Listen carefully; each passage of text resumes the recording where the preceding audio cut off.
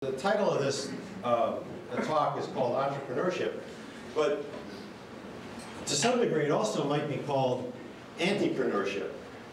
Because in order to be an entrepreneur, you have to understand how not to be an entrepreneur. So the, the barriers to innovation and technology are sort of the things that get in your way. And the first question I'd like to ask is, is anybody in this room dyslexic besides me? So the people that are dyslexic are really going to enjoy this because on the intelligence spectrum, if you thought of it as a yardstick from inch 1 to inch 36, the majority of humans on the planet have their intelligence measured in that 22 to 23 inch category, which is how good are you with the written word and number. And for dyslexics, we're, we're down like between inch 1 and 3 or between inches 32 and 36. So we don't find ourselves centering there. We find our way around the outside. We don't go in a straight line. And you're going to find that an important thought process in being an entrepreneur, which is straight lines can sometimes be um, not very helpful. So disruptive technology, thinking, barriers to innovation. Technology is the result of a new thought that's been brought to bear on a problem. It gets there because it somehow survives the barriers that are normally in its way, the things that are in the way of being innovative. Conventional wisdom, this is simple, we all know what it is, knowledge and beliefs, practices necessary to maintain the status quo. Okay? The world survives on conventional wisdom. Conventional wisdom is the boat in which we float. Without conventional wisdom, to a great degree, we're going to be bailing. But conventional wisdom has its limitations. And so for the purposes of this discussion, conventional wisdom is out. And the first thing that you have to do if you're going to think entrepreneurially, if you want your company to be entrepreneurial, and we're going to get into that, is you've got to be willing to take the first big step and say conventional wisdom is completely off the table for right now. I don't, know, any of you recognize this picture? That's Hirohito, that's General MacArthur, and that's the surrender. That's what's in the picture. But if you guessed that for this morning presentation, you're wrong. That's Rupert Murdoch signing MySpace surrender papers to Facebook. Okay? This is where conventional wisdom you take Rupert Murdoch paid a billion dollars for something that was losing 325 million a year, bought it, brought it in, tried to run it with conventional management, and it went upside down. While he was going upside down, Facebook not only got started, but stole the market because Facebook kept innovating and broke down the barriers, and they did not act conventionally. Disruptive thinking and technology. Okay? Disruptive thinking is the rejection of the status quo. It's the solicitation of novel, non-conventional, and radical ideas for success. But, I mean, just absorb that for a minute, okay? Because the disruptive thought is the first thought on the way to change. Disruptive technology then becomes the act of applying new technology or the novel approach of old technology that changes and challenges the way a company does business. So you can take all of this and put it into your personal life, it can be in sports, but it's, it's in, in business. If you don't apply this and find a way to get through it, you won't succeed. Entrepreneurial success cannot exist without healthy, robust, disruptive thinking and technology. Can't happen. But what is entrepreneurship? And I think this is the word that it's, you know, it became the 50 cent word, now it's the dime word or the dollar word. Everybody wants to talk about being entrepreneurial, entrepreneurship. For me, it's the science of transforming disruptive thinking and technology into innovative products. If you really want to just take everything else away from the stage and say, I want to be entrepreneurial, what are you really trying to do? You're trying to take that disruptive thought which you created into an innovative product, and you want to somehow cause that to become what I call common and ordinary in the marketplace. it needs to be transformational, like the wheel. And it can also be culturally shaping, like the internet. But think for a second about the wheel, all right? Let's all go back and we'll become cavemen and women sitting around a fire, okay? And the way we move stuff is we have a litter, and we put it on the litter and we drag the litter, you know, and that's what we're used to doing. And the litter's pretty stable, it doesn't tip over, it's got two balance points in the back, and as long as your arms are strong, you can pull the litter. Well, some guy says, if you put a wheel on that, this round thing, okay, it'll be that much easier to pull. Well, one wheel is interesting, but it becomes really tippy. So you're pulling it along, but now it can go like that. So somebody says, put two wheels on it, right? The disruptive barrier is everybody that looks at that and says, the wheels are gonna fall off, you gotta put grease in them, what happens if the wheel breaks? You're gonna be back to pulling the litter, why bother to make all that stuff, because you're just gonna try to pull the litter. So the, the wheel is really the first really disruptive piece of technology that came along. But if you think about all the people that were to poo-poo the wheel, because of the extra effort that was made, you have to make an axle, you gotta figure out how to put some grease in it, it becomes very, very difficult. But it was transformational. But it was very, very disruptive thinking and it was very, very disruptive technology. Yet it changed the world forever. Disruptive thinking, and technology in the white space. What's the white space? The white space is everything that isn't written down that you already have to work with. The white space is anti-conventional wisdom. The white space is the freedom that you have of everything that isn't already known. And whoever thinks that everything is already known wouldn't be here today. You wouldn't be getting up in the morning if you actually believed that everything that was possibly known was already discovered. Disruptive technology and thinking in the white space scares the pants off the status quo. If you're willing to be vocal and verbal and say, hey, that wheel is the, the way to go and everybody else in the room does it, you're going to be looked at with a tremendous amount of skepticism. If you have a truly disruptive idea, if you have a truly disruptive piece of technology, people are going to want to get in your way because it affronts their sensibilities of what they already know. New knowledge is scary. New knowledge means, means you may have to work to adopt to it. Disruptive technology changes, challenges existing mindsets and products. It's not common and ordinary. This is my new favorite word, common and ordinary. I'm in a business now, we make the anti-oil product that runs just as well as oil, that is cheaper than oil, it's made locally, you can put it in your house, you can turn your thermostat. We make something, but it's not common and ordinary. HUD and FHA put out a statement that said for the northeast of the United States, oil consumption is the number one impediment to the economy. That they need to find an alternative method of heating their homes and businesses without oil. This is our federal government. I wanted to jump up and down and say, that's great, that's terrific, that's, it's wonderful. That same agency has tens of millions of dollars to prime the pump for alternative energy. The Gilman Housing Project in northern Vermont has 300 applications for something other than oil. When they made their application a year ago to the FHA and HUD, they were denied. Because the technology that was going to be employed was not common and ordinary. What's common and ordinary? An oil boiler which is exactly what they said they didn't want to put in place anymore. So if it's not common and ordinary, the system is stacked against it. We don't know what it is, we're not quite sure, and we're afraid of it. It's a lot of things that are disruptive require social change. I mean, the internet, Facebook, every, I mean, we, we live with that. Some of us resisted, some of us didn't. I'm happy to tell you that I don't have a Facebook page, okay? But the reason that I don't have a Facebook page is because I'm dyslexic and I don't really want to read it.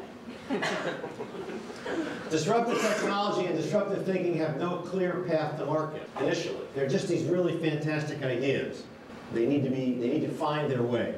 And if you are looking at disruptive technology and thinking in the white space, you have to be willing to reject conventional wisdom to succeed. Because conventional wisdom is the entrepreneurial part of entrepreneurship. Conventional wisdom will tell you you can't use the disruptive thinking and technology.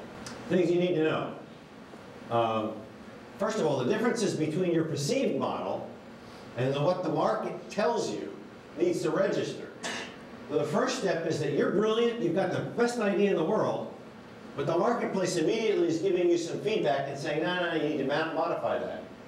You will sink as an entrepreneur if you can't then be responsive to what the marketplace tells you. In order to do that, as an entrepreneur, you're going to have to be, and you already know how to that, do that, is you have to be able to change your mind in a split second. And you need to surround yourself with people that will allow you to do that. If you surround yourself by people who are entrepreneurial, they're going to tell you, no, no, no, boss, you got a good idea, you can't change that. You have to trust yourself. At the same time that you have to listen to the marketplace, you have to reject anecdotal information. Because the thing that sinks most projects are that little anecdote of the two places where it won't work as opposed to the 98 places where it does work. And make sure that the people that are working with you don't change your mind for you. This used to be one of my favorite things when I was in the ski business, which is I would say, you know, you need to make snow starting from the top of the mountain to the bottom. And someone would say, no, but temperature inversions will make it at the bottom and then we'll make it at the top. And I found something very simple in the ski business. People did not like to get off the lift and walk down to the snow. but if they got off the lift and they could ski two-thirds of the way down, they were willing to walk down the rest of it. Entrepreneurial growth is dynamic. It, it, it, it can be, I, you know, this is my parents speaking, but the word helter-skelter it, it, it kind of bumps all over the place. Having a plan to move from early adopters to the early majority. Now, early adopters are the people that paid $60,000 for a $40,000 Prius. The early, and they're out there. So if you have a new product, there will be a set of early adopters. They're, they're important because they're going to they're going to pay $60 for the $40,000 Prius, and they're going to allow you to stay in business for a couple of days. But once you get past the early adopters, the early majority, these people are the folks that we are, that's the heart of the market now, the beginning of the heart of the market. They want to pay 40000 and like the woman in California, when it didn't get 50 miles to the gallon, the Honda that she bought, Civic, that didn't get 50, she went and sued and got $10,000 because the early majority actually wants it to do what you say it's going to do. If you think that the straightest, the fastest way between two points is a straight line, okay, you, you really better hope that the world is flat. It, it isn't. I mean, logically, we are trained to think that to get from A to B, we don't understand the quotient of time, and we don't understand the most important part of being about entrepreneurial is you get to skip stuff. And those people who are dyslexic learn very early in life that you can skip a whole bunch of stuff, go buy the cliff notes at the store, read those and pick up the five or six keywords you need to fill out the multiple guess test. Managing yourself. Probably the hardest thing for someone that wants to be entrepreneurial or wants to be entrepreneurial inside their business is you are your most dangerous asset. You've got to learn to live in what we call the white space. And once you put yourself in the white space, you basically say, I'm against conventional wisdom. But remember at the beginning of this I said, conventional wisdom is what keeps the boat floating. So at some point, you have to understand that your innovation has to become conventional wisdom. Living in the white space means that you have to have a level head, you have to be willing to accept the fact that your innovative idea will only take you to the point where it's got to be adopted by the early majority, got to become common and ordinary. And your great idea, the wheel, needs grease fittings, needs a place where it can have its tires blown up, and may eventually need an engine to move it along. Be patient when things are moving slowly, but be relentless in speeding them up. Now that may sound like two different things, but you have to do that. If you're going to be an entrepreneur, you really have to sort of be things aren't going fast enough today. I can get into the middle of this process and really muck it up. Or I can go back in my office and I can figure out how to speed it up. Fight the urge to get sidetracked. I think anybody that's truly entrepreneurial gets bored with their idea and wants to go on to the next thing, that's when the discipline comes in, that you've got to start fighting the urge to do something different. And finally, don't follow a straight line. Don't follow a straight line. How many of you in this room have ever tried something and not succeeded? Okay. Um, How many have tried something and not succeeded more than once? 10 times? 100? Okay, a couple honest people. Failure is a building block. Failure is data. Failure is important to the process. Can you guys see what this is? This is a picture of, of Thomas Edison. Okay. He failed to invent the light bulb a thousand times. He has a thousand positive data points, a thousand positive learning experience about how not to create. He said, the light bulb, he said, I have not failed a thousand times. I have successfully discovered a thousand ways to not make a light bulb. this is how the learning process actually takes place. There are very few people in the world who are smart enough to get it right the first time. When we measure people based on their ability to succeed without ever failing, we finally get somebody that we put into a position of power has no understanding of how the rest of us got to where we are. In order to be successful, you have to taste failure. Failure is something that you need to absorb, embrace, say, yes, I give myself permission to fail, and I'm not going to be bothered by it. I like to talk to high school students because they're the ones that I think they're most impressionable about this thought process is give yourself permission to fail, don't beat yourself up if you do, then you can be rocky and get knocked down and stand back up again. Now let's get to the next part of this, which is the barriers to innovation. You know, this is funny, but to me, this is the this is the this is a real big one. Too much money destroys innovation. You have an, you have a great idea, you want to innovate it. The first thing is the managers come in and say, let's raise ten million dollars $100 million and put it inside this company. All of a sudden, the idea is buried in this giant managerial box that's been built for the idea to live in, and you've lost the ability to change the idea because the money basically said, well, you said you were going to get this done by then, so you got to stay on that path. So although you need money, money can be the number one inhibitor to success. Patent and copyright protection, this is sort of like a, a political statement that I just sort of throw in here. Okay, the copyright and patent laws were written over 100 years ago. They are completely antiquated. They inhibit the ability to freely move information to be innovative. Yes, they protect an idea, but you can copy an idea, change it just slightly, and then try to take re-ownership of an old idea, and it goes on forever. And you truly can't have information and logic ideas that remain in the public domain that you can have access to to build off of. Most economic entities, when they put their money to work, they want some kind of insurance or they want a guarantee. And again, that gets back to the fact that some of the barriers to innovation are economically driven. If you're not ready to produce your product, even though it's your idea, your competition will. So as you take your product forward, remember that if you can't keep up with the market demand, you're going to get wiped out. In my own experience, there was a guy in Aspen, and by the way, I you know, plead guilty right now because I'm guilty of this, um, and very successfully guilty of it. There was a guy in Aspen that, that developed something called the S-ski in the late 80s, early 90s. The S-ski was really the first shaped ski. But ski technology had not advanced to the point where they knew how to make skis thick enough and resilient enough so they could put a big enough side cut in them so they weren't kind of like a marshmallow going down the hill. So the only time the S-ski was any good was if you were in super soft powder, which we don't have any in New England, and it was fresh snow, then you could make that turn. So we went out of business. But a company called Elan decided to see whether they could make a stiff ski, which they did. They couldn't find anybody to buy it. I happened to have skied on a pair of the old S ones, and I saw the Elan and tried that, and that was sort of the birth of shape skiing because it, it, it and I stole the idea. And 12 months later, I bought 10,000 pairs of skis from Rossignol and stuck them across all the ski areas in New England.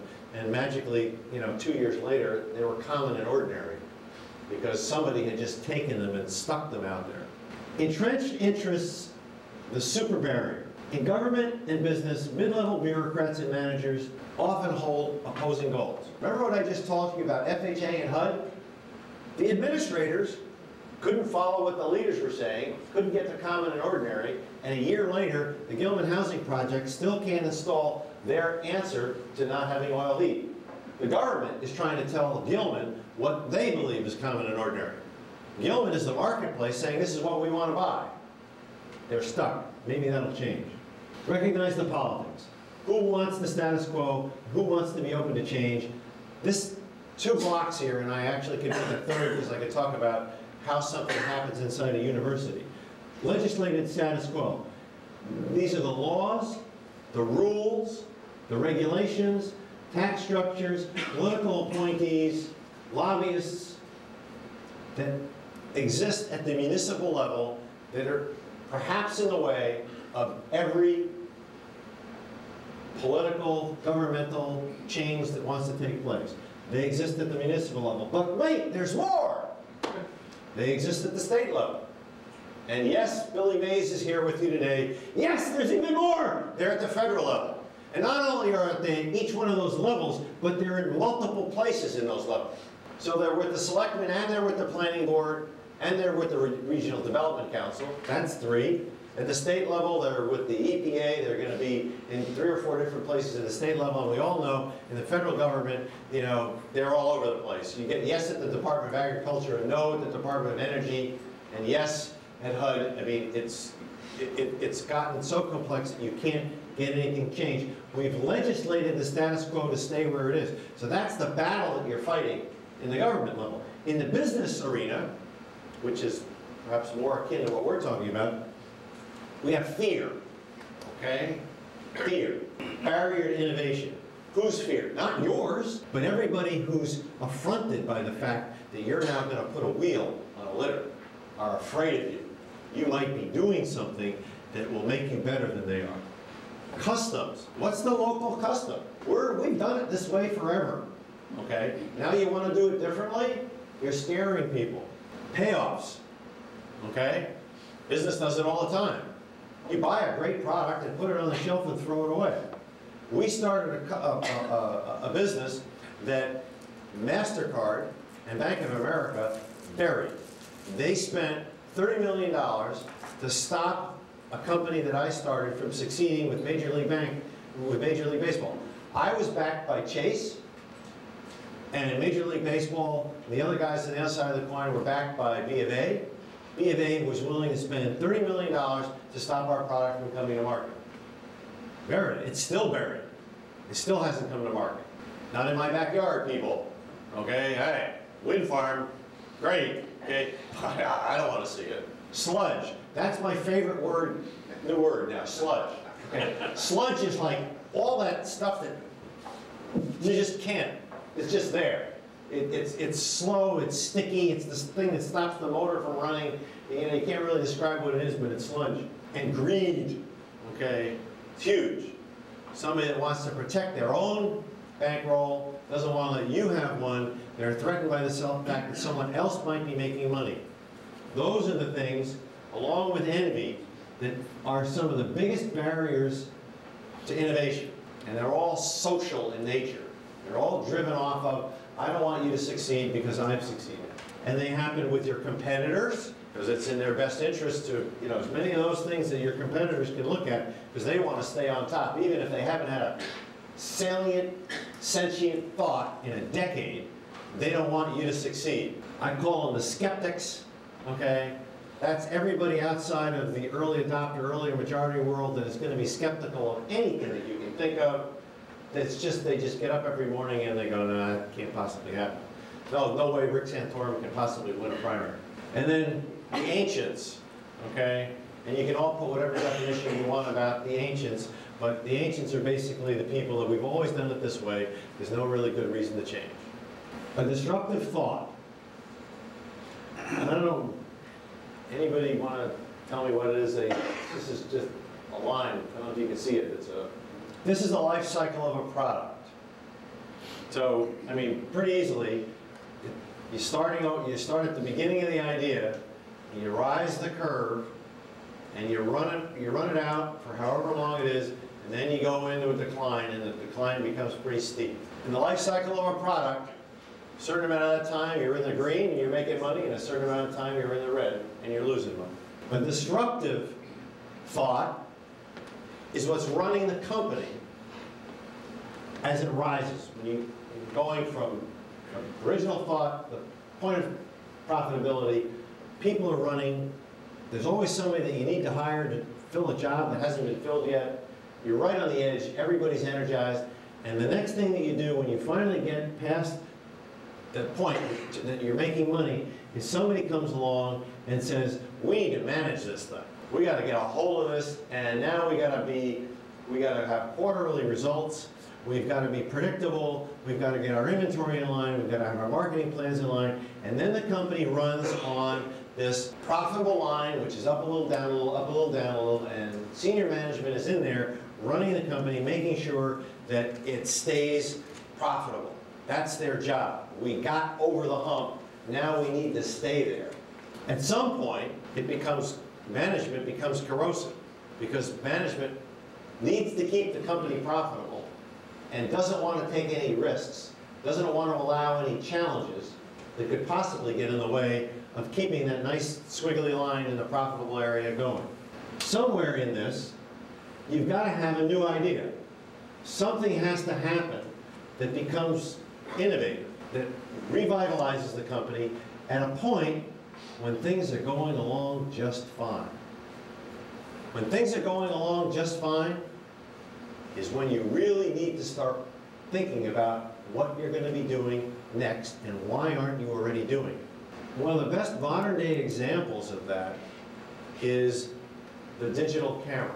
The digital camera was invented not by Sony, not by Nikon,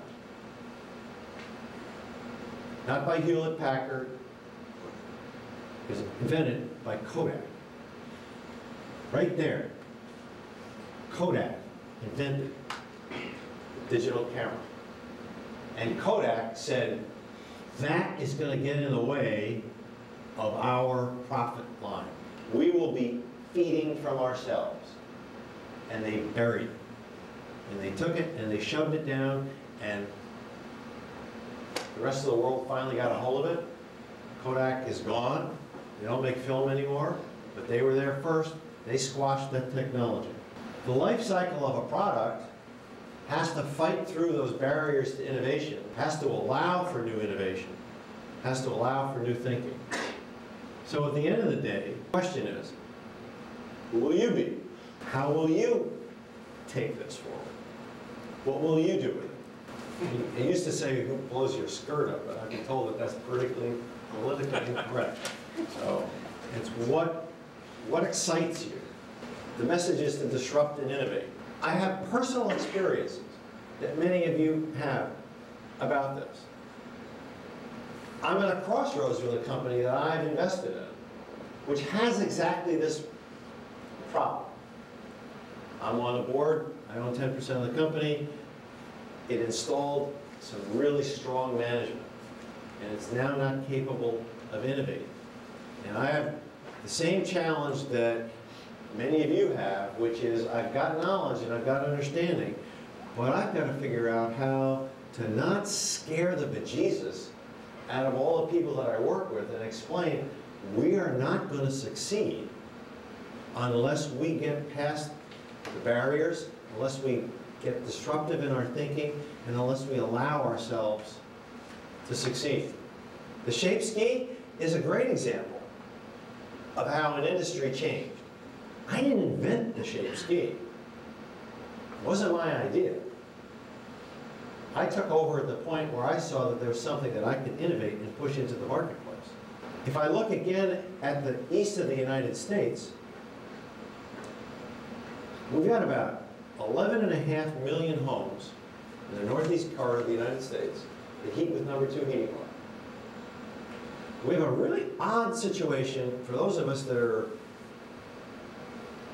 students of the economy. Samuelson, Keynesian, Friedman, none of that history is applicable now to energy. Because the people that own the oil aren't selling us the oil based on anything other than their need for money. I think it costs Saudi Arabia about eighty dollars a barrel to keep their standard of living where it is, balance their budget. Russia needs about a hundred to balance their budget. Qatar, Dubai, Kuwait, they need about hundred dollars a barrel to maintain the two hundred fifty thousand dollars that they give to all their citizens so they can all buy Bentleys. In order for that to continue, what has to happen is the price gets high enough, we get scared, so we decide that we're gonna use less oil. And we start to conserve. So we're actually, congratulations to everybody in the room, we as a country are using proportionally less oil now than we were. Problem is that when we use 10% less, they need to charge us 10% more. Otherwise, they go out of business. You can't blame the Texas oil man for selling his oil at $100 a barrel if the world price is being set by OPEC at $100 a barrel. I mean, I love my country, if the price is $100, you know, maybe I'll tithe a little bit, uh, you know, to my church, but I still want to get the, the market price. So we're in a situation globally now where even conserving is not going to be helpful. The only thing that's going to be helpful in the long runs is to switch to a fuel of some kind that they don't control. And then we can get back to supply and demand. In the short term, we're going to have to pay more for the fuel that we use. But we won't be subject to the whims of somebody else constantly changing the price. So wind energy is great, maybe more expensive right now, but long term, it's dependable and it's ours, and we're not going to have to worry about a variable cost. Those of you who are in business, one of the things that we hate the most is costs that we can't predict. That's you know conventional wisdom. We're back into actually running the company now and being slightly managerial, but I don't want to have to worry about the continuing change of the price of, of fuel. So if you want to look at the future of New England, you got to say to yourself, there's 11 and a half million people that really shouldn't be using oil. I believe that. So the disruptive thought was to tell you, well, what you need to do is burn the trees in your backyard. Because I now sell products that use trees. Not really innovative because we've been heating with trees forever. But what's innovative is that you probably didn't know that if you take a tree, grind it up, and put it back together again, instead of getting pollution and about 25% of the energy out of it, you can get 90% of the energy out of it and not pollute at all. It's just a hydrocarbon, okay? And the cleaner you burn it and uh, the higher the temperature that you burn it, the cleaner the burn is going to be. And so the tree is like a solar battery. It's going to keep growing. And the more you harvest trees intelligently, the faster you can get them to grow. In the state of Maine, we used to get about 0.25 cords per acre off of an acre of land. Now with sustainable harvesting practices, you get about 0.37 acre uh, cords per acre, and they look like you're gonna get almost a half a cord per acre, but that's because you're farming the land. Now, you don't wanna cut down all the trees next to the brook, but it's like a huge farm when you look at the landscape of the Northeast. There's a lot of wood that we can use. We can also specialize and grow products for fuel. And not like corn, but you can grow switchgrass and elephant grass and miscanthus grass on the fields that are going fallow where we don't grow potatoes anymore, you can grow the fuel that can be used. And all these things can be done at either half or less than half the price that you're currently paying for oil. So why wouldn't you do it? it makes sense. You just turn the thermostat. But it's not common and ordinary. It's, it, you're not used to it. Smitty that delivers your oil to your house every day isn't delivering your house. A different guy in a really odd looking truck is showing up and instead of pouring liquid into your house, he's blowing a fuel into your house. And your neighbor doesn't have one, and so you're going to be the early adopter the early majority, and so you've got to fit into that category. As the price of oil continues to creep up and be more volatile, we're going to continue to look for answers. So I'm again at the age of 62 living what I preach, which is I got a great product. I've had all of a problem. It's not common and ordinary. I got the US government in my way. I had every state agency in New England, every environmental agency in New England telling me that my product couldn't be sold because it was an outdoor wood boiler. And was trying to get approved, it takes years of going through EPA and testing and say, look, my thing is cleaner, okay, than the oil thing that's in the guy's house right there. And to become common and ordinary is a constant struggle. You've got to continue to disrupt and challenge people's thinking. And then at the end of the day, you have to be willing for somebody else to take credit. I fully accept back that Senator Snowe or Senator Collins in the state of Maine will take credit for the fact that you can finally buy a boiler in northern Vermont in the Gilman Housing Trust that's common and ordinary. Because they're going to take credit for finally getting the people that are running these departments to say that the laws that they passed, the money they want to spend can actually be spent the way it was meant to be spent. And that's great. And I hope they have the headline. I only hope that I get to sell the product. But each of you has this ability to take a look back in your own company and go back to, back to this slide and say, where am I in that life cycle right now? Right? It's a not a comfortable thought because, you know, you're driving a nice car, apparently. I drive a Jeep with 170,000 miles on it, so I know I wasn't talking about me.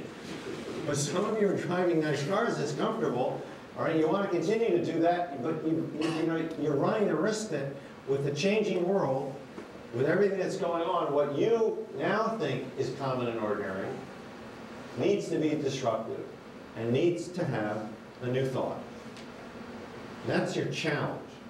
And if you're in business, you have to try to figure out how to become entrepreneurial inside your own company without scaring everybody, without creating fear, without creating all the negatives. That's your challenge. Now, I can tempt you, and I don't know whether I'll be back next year or not, but the second follow-on to this, which is essentially, I buy into this disruptive thing, but I've got no idea how to make it work inside my company. And if you're all intrigued with this, we've thought a lot about it. I've taken a little bit of time to be reflective because I'm, you know, at 62, you're allowed to collect Social Security, which means you're also allowed to think about things that you wouldn't think about when you're 42. I started to think about what it was that I was actually doing and still do when I come up with an innovative thought that I want to incubate. And I want to do it, you know, I want to give people permission to fail and a bunch of other things in there. So the step two is to try to figure out how to take disruptive technology innovation and figure out how to embrace it. And allow it to happen inside your existing environment without destroying your company, because that's what your fear is. Your fear, the greatest fear that you have is that your destructive thought, your destructive technology is going to prematurely take you and kill you. It's going to make you corrosive. When in actual fact, that point at which you actually need to get it started is now. You're all glued onto my every word, which I think is really great. Um, I'm totally full of it, and I made this up this morning. Put the slideshow together last night. But what I'd like to do is, is challenge you now to any anecdote that you personally have, or ask me any question that you want about anything that I've stumbled with. I mean, there's not a lot of times in your life where somebody that basically made a half a billion dollars and managed to lose 90% of it is standing in front of you. So I had some learning along the way. And I'm happy to share that, share that learning, or let you share your knowledge or your thoughts about what we're talking about this morning. Based on personal experience, disruptive thought and behavior in the workplace is rewarding. I agree. That's a, that's a very interesting thought. Okay, so, all right, take your ego hat off for a minute, okay? And, and say, instead, I got lucky and succeeded inside my company with my idea. I may not be the smartest person inside this company. How do I allow the disruptive thought and the innovative thought inside my company to succeed? Anybody have any ideas? It's the first thing that you have to think about when somebody else has a good idea is they're sitting there with the good idea, they're gonna say, what's in it for me? Talk about, let's talk about a new idea for a minute. You have a new idea. What's the first thing that happens to you when you have a new idea? Like, what can I do with it? Probably don't have a new idea and say, I'm now gonna save the world, okay? You know, there's a lot of, you can be esoteric, you have to be honest, which is human nature. And the first thing is you're gonna say, what's in it for me? So, to answer that in another way is saying, first thing is, you know, I'm a little greedy sometimes. Can it make money? Can an idea make money? Or if I was in a hospital setting, can it save a life? Or if I'm in an educational setting, will it create another new idea that can be fostered? But if in a purely business sense, I think the first question I'm going to ask is it going to cost money, is it going to make me money?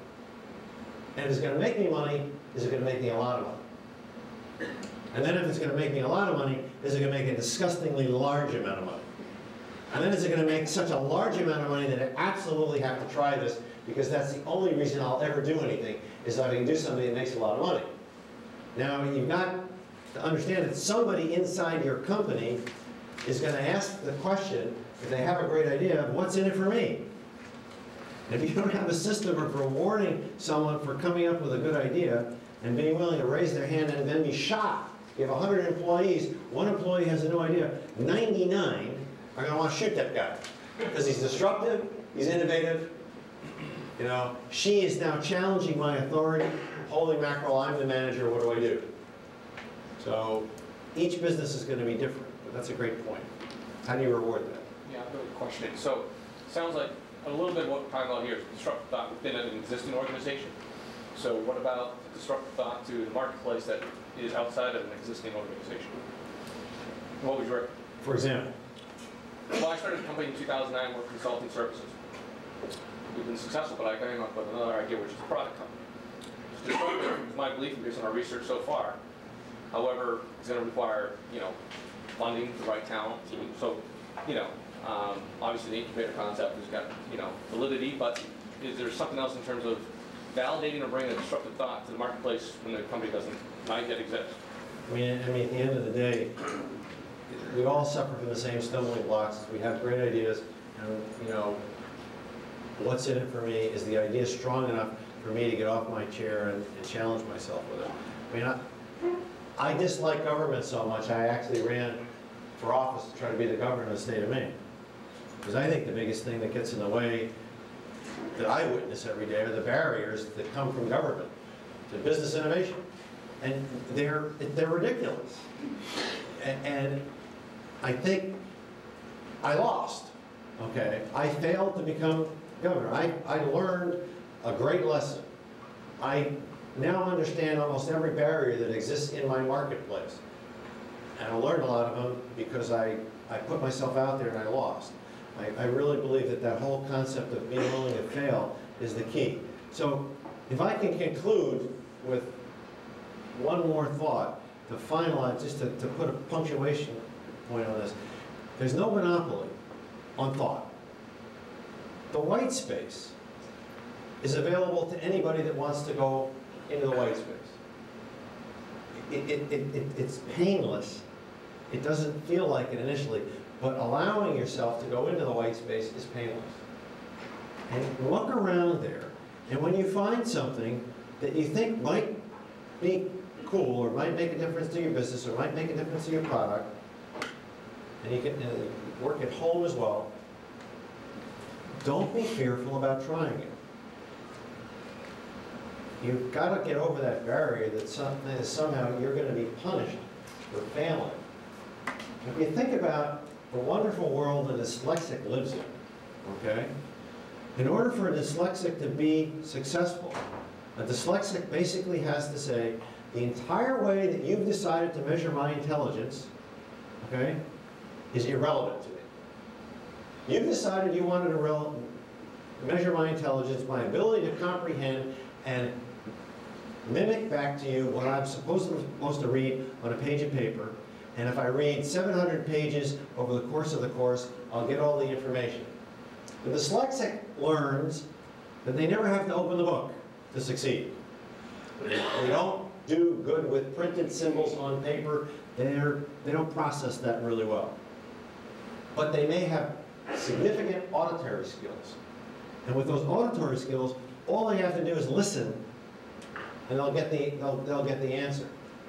They'll know what to do. You have to trust the fact that if you're going to be in the white space, you're not going to be reading the textbook. You're going to be reading everything that isn't written in the textbook. And you're going to be thinking about everything that hasn't been thought of in the textbook. And you're going to find your own wormhole, believe in wormholes, you're going to find your own wormhole to success. It's not going to be a straight line. It's going to be some function of allowing you to skip over things that everybody else is dwelling on. Now, where a dyslexic, this is really the good part. Where a dyslexic can eventually learn how to read, and probably read well. Dyslexic has learned that there are parts of their brain that they need to pull into focus to be common and ordinary like the rest of you. Now, I can't exist in a world that doesn't have PowerPoint and printed words, and I have to read stuff every day, and I, I read constantly. But I'm using, according to the studies, a whole different part of my brain. Well, here's the really good news. That society has told you that your intelligence is being measured on what you learned in high school and college and could reiterate on a test paper. Congratulations for those of you who did well. That proves that you have a great ability in that one segment of that 36-inch ruler. But you also have all the same abilities that you haven't tried yet. If you haven't played in the white space yet, learn how to do it. Allow yourself to fail with some ideas that you haven't brought forward yet. You're not limited, you just haven't been there. Just, it's the Super Bowl of, of life. You've been living between the 49-yard line and playing the game in there. Play in the end zones a little bit. It's scary when you get into the red zone. The guys, that, women in the room that love football, when you get into the red zone, the whole game changes. You know, what you do to get from the 50 to the 20 is one thing.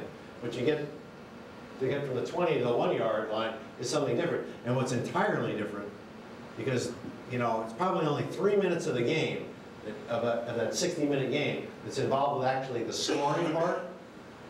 It means 57 minutes are between the lines, three minutes are in the white space. The broken play that gets turned into a win. Give yourself permission to fail, give yourself permission to play in the white space. And with that, Dr. Galvin.